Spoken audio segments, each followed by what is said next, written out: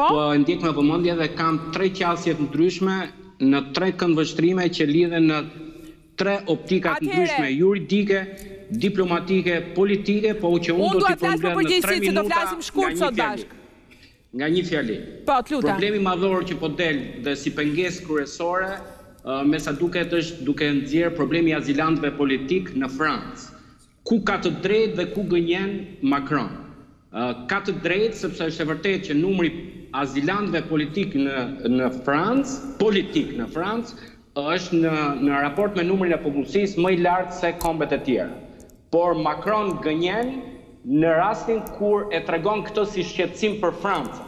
për faktin sepse emigrantët shqiptarë në Francë janë totalisht të papërfillshëm në raport me numrin e emigrantëve që kanë shqiptarët në Itali, në Gjermani, në Greqi, në Hollandë, në Belgjikë. Pse po gënjen Macron atëherë? Sepse mendoj dhe do të dal në konkluzionin e dytë, në konkluzionin e dytë diplomatik që qartazi ka dy rryma brenda BE-së.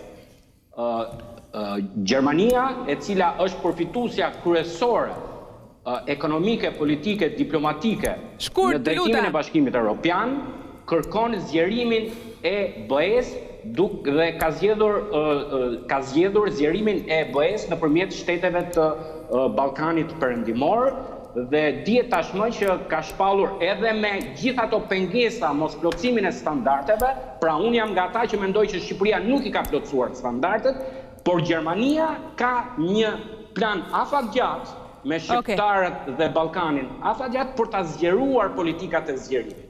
Tani do flasim pak për përgjegjësitë e Shqipërisë, se këtu ishim ne. Ndërsa Franca nuk është e interesuar për zgjerimin e Bashkimit Europian. Të dal në konkluzionin e tretë politik.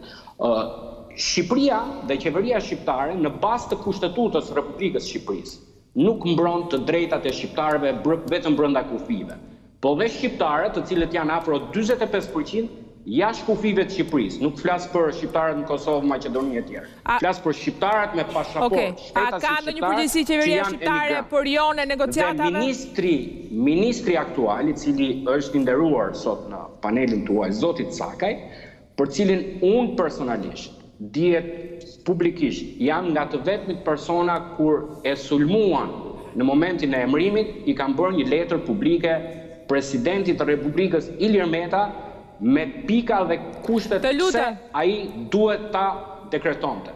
Sot i bëj ftesë ministrit të Jashtëm Gent Cakaj sot live në studio nëse ka bërë pesë punë të mira në ministri, puna e fundit që mund të bëjë sot të paralajmërojë dorëheqjen e tij nëse Shqipëria refuzohet dhe nuk i hapen negociatat. Pse? Pse e them këtë? Po, pse duhet ta japë dorë Cakaj? E them këtë sepse ai është ministri i shqiptarëve, jo vetëm në Shqipëri. Pse Cakaj dhe jo Rama për shkakun? Është ministri i shqiptarëve jashtë Shqipërisë, sepse ai është ministri i shqiptarëve dhe ka hyrë me një kontratë me publikun shqiptar, por ka hyrë dhe me një kontratë me partnerët ndërkombëtarë.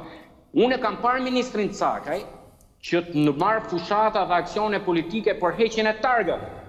Por ai nuk është drejtori i patentës dhe i targave në Shqipëri. Por nuk e kam parë që ministri Cakaj të shkojë në çdo kamp refugjatësh, te ata shqiptarë të cilët nuk kanë bukë, ujë, kanë mbetur rrugëve, nëpër çadra, në Francë, Gjermani, Belgjikë dhe kudo.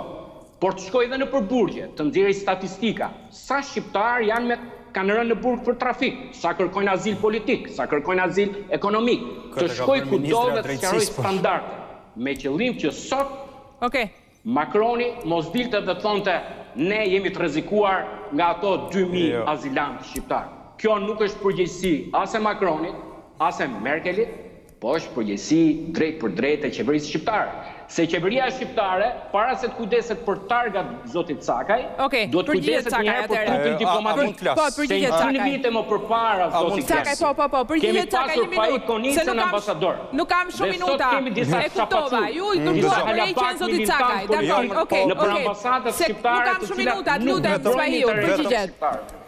Nuk janë avokat të çështjes kombëtare dhe unë po të them, dëgjo, unë jam një nga dashamirësit dhe mbështetësit e hapur të Gent Cakës, por dorëheqja e Gent Cakës sot live në studio, Genti, të shërben ty që të mbetesh në politikë dhe të rikthehesh njëherë me dinjitet si patriot, po i shërben dhe Shqipërisë, Sepse nuk është Zaevi më patriot që del dhe thotë jap dorëheqjen në qoftë se Maqedonia nuk përfshihet në Bashkimin Europian.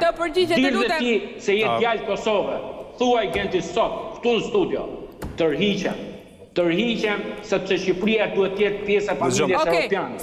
Nëqëse i ke plotësuar detyrat, i ke plotësuar kushtet, dil sepse ministrat janë të përkohshëm. Spahiu të lutem një minutë Një minutë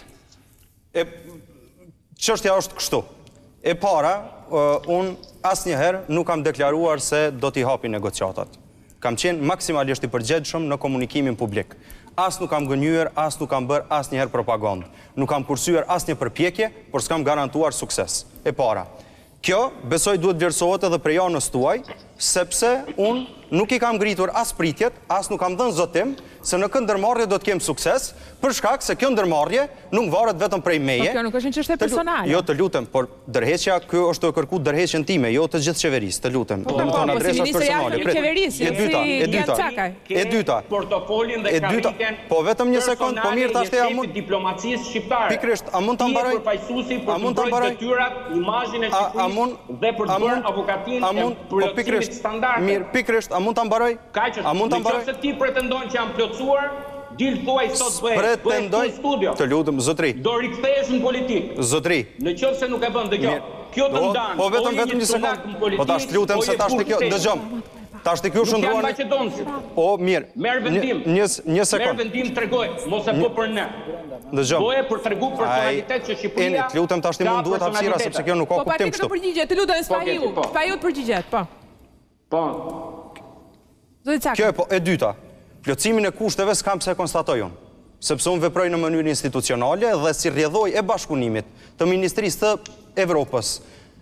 dhe Punëve të Jashtme, me Komisionin Evropian ka ardhur raporti i cili ka konstatuar se kushtet janë plotësuar.